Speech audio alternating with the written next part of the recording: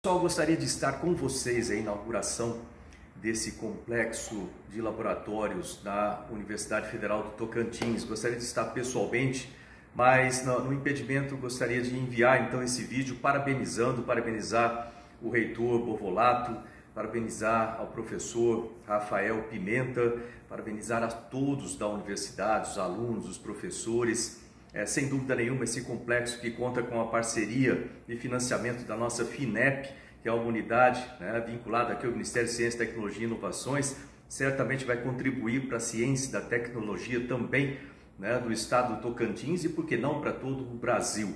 Eu tenho muito orgulho de poder participar disso, gostaria de agradecer e muito a participação, o apoio do senador Eduardo Gomes, de toda a bancada federal, pelo apoio à ciência e tecnologia, né, nos dando essa possibilidade de ajudar a financiar a ciência e tecnologia do Brasil, que contribui para o desenvolvimento econômico, desenvolvimento social e para muitas outras coisas. Nós vemos isso em todos os países desenvolvidos e o Brasil tem muito potencial.